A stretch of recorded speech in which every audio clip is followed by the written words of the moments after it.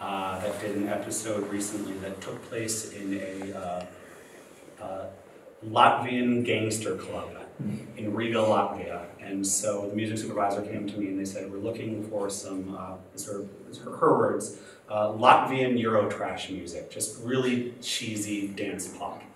Um, as it happens, I didn't have, I, I have some Latvian music in my catalog, but it's all really sort of artsy and folky. It wouldn't have worked, so um, but I have a, a, label in Serbia that I work with. And he had some music in that style, so he sent me some stuff. And I, I, of course, had to go to the music supervisor and explain to them that Serbia is nowhere near Latvia. they're not the same country, they're not next to each other, they don't speak the same language. Um, to which he responded, who cares? He says, send me the tracks. And so actually, if you watch this Latvian nightclub episode, uh, little secret is there's no Latvian music in it, it's, it's all Serbian. Um, I, I do get I do get requests fairly frequently for you know um, if it's a if it's a French show they might want you know French chansons you know someone in a cafe playing accordion. If it's a show that takes place in Mexico, they might want uh, you know reggaeton or, or, or, traditional Mexican music or music that really conveys the feeling of Mexico. Uh, so of course you know for for Portugal there's that style. But of course, if you're, the question becomes, what if you're an artist from Portugal and you don't play traditional Portuguese music? That's totally fine. I think the thing is, I mean, I, I, I, I truly believe that, that good music is good music.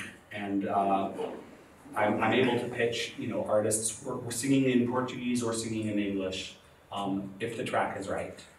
Uh, I do encourage artists, you know, remember in the States we have a, there's a lot of music, and I, sync agents, we, we, we get asked for sort of sound alikes all the time. Maybe not actual literal sound alikes, but people saying, we're doing the track and we want something that, we want to use a Led Zeppelin, but we can't afford Led Zeppelin. Or we want to use the White Stripes or Bruno Mars, but we can't afford that. What do you have that's in that style? Um, and it's challenging, you know, it would be, it's much easier for me, I feel, to pitch a band and not just say, oh well, this is this is the this is the Portuguese White Stripes. But fine, okay, that's cool. But there's a lot of bands all over the world who sound like that. So, you know, what I look for in particular is really finding uh, finding artists that do have their own sound, whether it's a traditional sound or, or a contemporary sound um, that can pitch. So so far, I'm not saying any hands up. This is this is breaking my heart, you guys. I have my own roster. I have about 35 labels and publishers that I represent, as well as some you know, individual relationships with bands. And so these are all people that I've talked to, whose music that I like, who I've met with, who understand that I'm pitching. Um, and we've entered into a deal where I pitch, I pitch for free.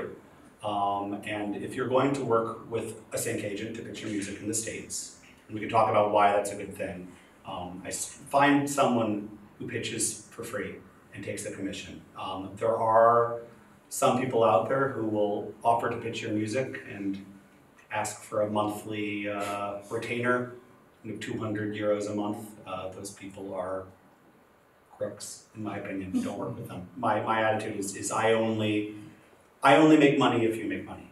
Um, if I if I pitch an artist, and this happens, to be very honest, I mean, because I don't have complete control, because all I can do my job as a sync agent is really actually not, you don't have to be that smart to do it, uh, clearly. And um, you really need two things. You need a good set of relationships with music supervisors, which is I spend a lot of my time uh, you know, in Los Angeles and London and New York meeting the people who, are, who work for Netflix or who work for uh, for Sony or who work for the different ad agencies, getting to know them, learning how they work, learning what type of music they like, learning what their styles are, and convincing them that I'm trustworthy, nice, easy to deal with. If I send them a song It's going to be easy to clear. There's a concept called one stop, which is uh, means that you can sort of say, if you want to use this song, I can just talk. You know, the label is the artist, it is the publisher. We don't have to get permission from eight different people. Uh, we don't have to get a major label involved, and that's something that music supervisors love because it, it, it makes their job easier.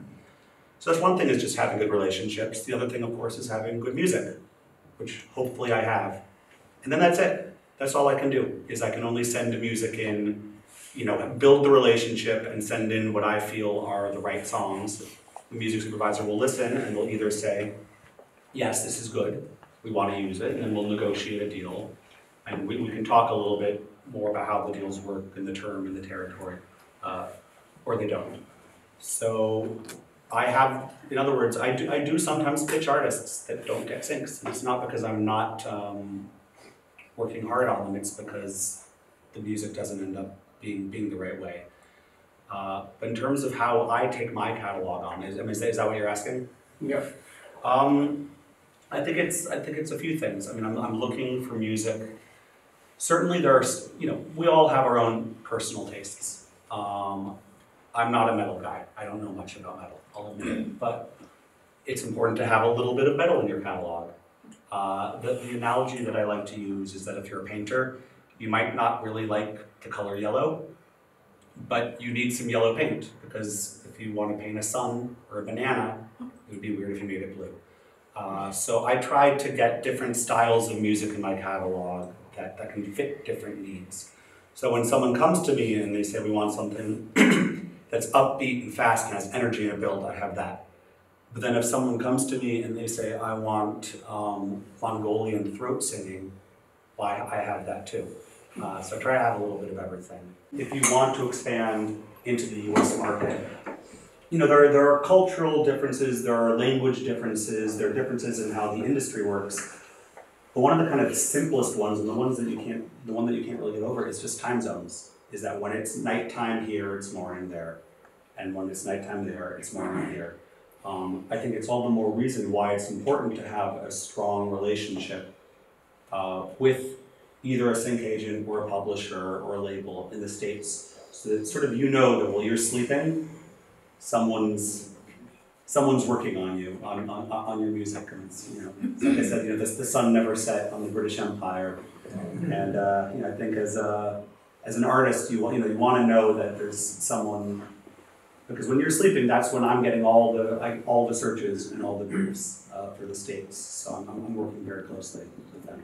Um, some. Well, I mean, one of the one of the reasons I'm, I'm here, quite honestly, is to get to know more Portuguese artists and, and, and, Portuguese labels. And this is why, I mean, this is why I like to travel the world is because, I mean, I think my own reputation in the music industry, is hopefully a good reputation, I don't know, uh, that other people can decide that, is that I'm, the, is that I work with non-American music and with strange stuff. Um, uh, Nuno mentioned that I was spoken, in, Brazilian Portuguese or Brazilian or Portuguese Portuguese, like fado or. Well, so I get. I mean, do you think it's possible to export and sing? I think it is. I mean, I personally, I'm a, I, I love Portuguese music. I mean, the, the Portuguese music that I've heard, I, I like fado. I like I, last time I, I, when I was in Lisbon, I went shopping and I bought some just beautiful twelve string guitar uh, albums that, to me, are things that you can't hear anywhere else. Uh, you know, my feeling is that there are music supervisors in the states who don't know that they like Portuguese music yet, but they're going to like it. Um, and that's this is a lot of what I'd like to do is say, okay, guys, I have this band. You've never heard of them, I promise. You're gonna love them. I got a, a band from uh, from Belarus uh, called uh, Super Besse. They sound like uh, like the Belarusian uh, Joy Division, and nobody knows them in America, and nobody speaks Belarusian, and I don't speak Belarusian. Um, but the song was really cool, and I got in, I got into uh, into a commercial.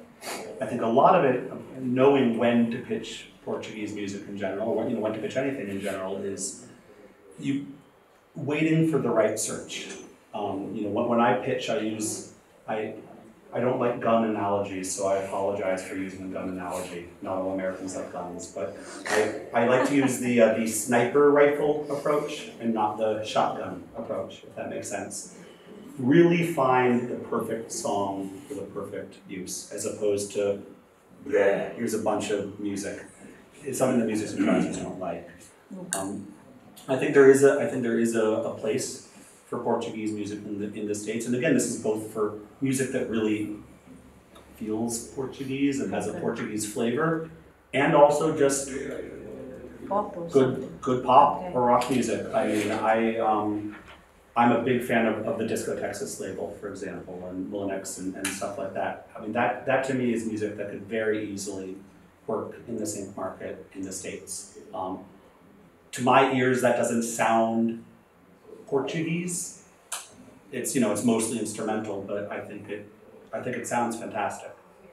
Um, of course, you know, the, I think there are certain things to talk about that are maybe specific to being a, a, European artist um, in the States. Uh, one of them is I'm assuming that you were all registered with, with the Portuguese PRO, with, I believe, SAD, I believe it is. Um, if you're not, do that.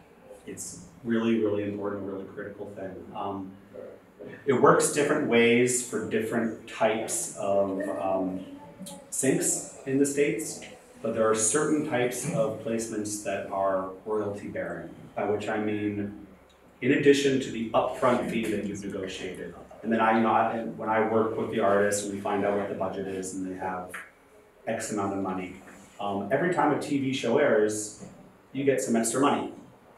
Now, if you have a publisher, if you're working with, with Lusitanian, for example, or, or with, or with another publisher, one of their jobs and one of the things they can do is help to collect that money. Um, but one thing that you should absolutely do is, is, uh, register your music. With, it, it is SAD, correct? Is that the? is. F- SDA? SPA. Oh, SPL, I'm sorry. SPL. Um, register your music with them because in, in addition to being a, a valuable resource and someone that you can talk to and get help, they have um, reciprocal arrangements with uh, the American and British and French and so on PROs, with ASCAP, with BMI, with uh, SESAC in the States. And so having that relationship, I think, is an important way to, uh, to, to, to make sure that you're getting extra money. Uh, because what I do, since I'm not a publisher, I'm just a sync agent, I'll make sure that when, when I get a song into a TV show, uh, I'll make sure that they send the, the cue sheet. So that's the, um, you know, the, the, the list of, okay, these are the writers of the song, this is who they're registered with, this is, you know, the numbers, and they send it in. And then I, at that point, I'm no longer involved.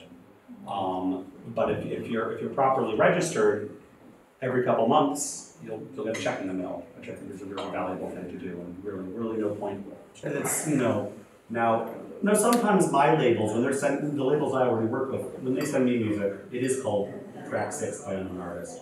I go in, I change it, I turn it into an MP3, I clean it up, I keep it, like, you know, like a, like a bonsai tree. Yeah. Um, I don't think the majors do. Um, more importantly, though, they they move slowly, and I, I think you know the, the first thing that I do when I get a request or interest from a licensor in using a song is I go to the artist and I say, here's the situation. Uh, there's an online ad. I want to use your track. That's uh, online, worldwide. It's going to be for three months. This is the budget, and I can give my opinion. I will give my. I'll say I think this is a great deal. You should do it. I think it's a ripoff. You shouldn't do it, or I think it's a good deal, but we should negotiate a little bit. But my job is to is to do what the artists want me to do.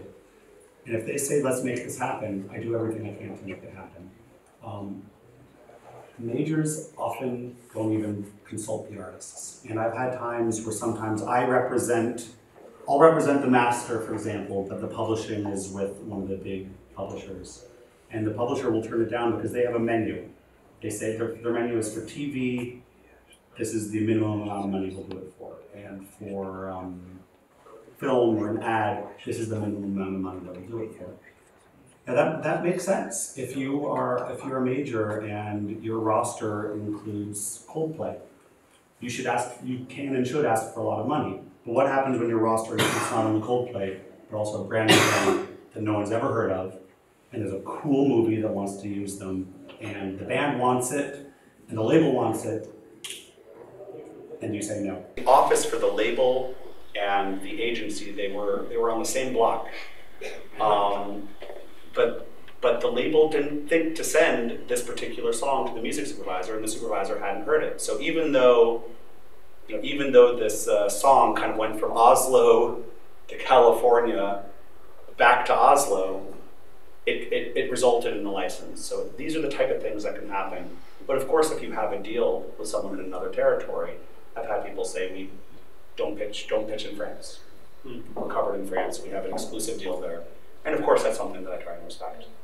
You know, when I work, I mean, if, if I talked a little bit about samples before, but you know, one thing that I have to do, I have to be so so clear about who owns the song, who has the rights, because YouTube is a big corporation, right? YouTube is owned by Google. They don't want to get sued.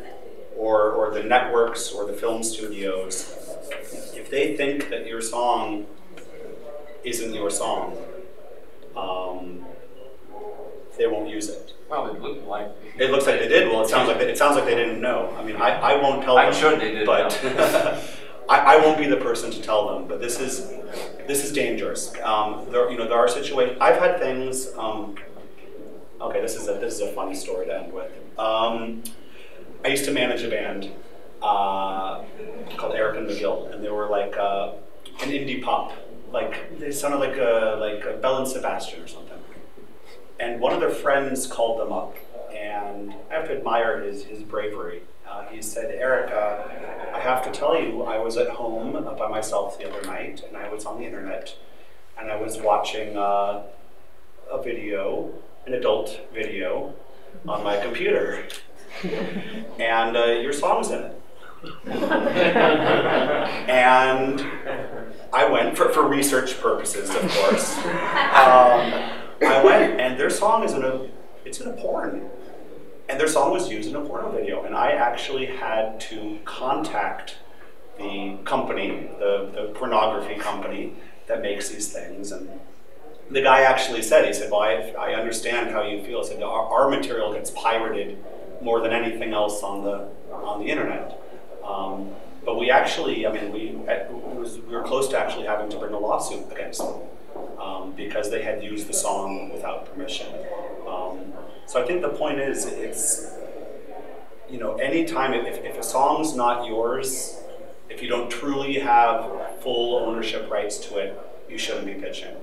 If there's, if there's a sample in the song from another artist, you need to reach out to that artist and do a deal with them ahead of time, or otherwise, I cannot pitch a song with a sample. I mean, I think, the, Send it I think the solution to this is to write your own music. Yeah. And it's, uh, I work with Afrobeat all the time. It's a fantastic genre. There's some great stuff. Certainly, if you find a show that you know likes that style of music, reach out to them and, and build that, that relationship with the music supervisor. I mean, I'd be, I'd be happy to listen to his music and talk to him, but I'd have to have a much better idea of who the song belonged to, and, and who, you know, I would have to be very clear. Yeah. It's easy because he's always posting on Facebook the songs that he does. Come, so- come, find, find me afterwards, and, Okay. and, and yeah. I guess we, I think we probably need to wrap up. Um, thank you.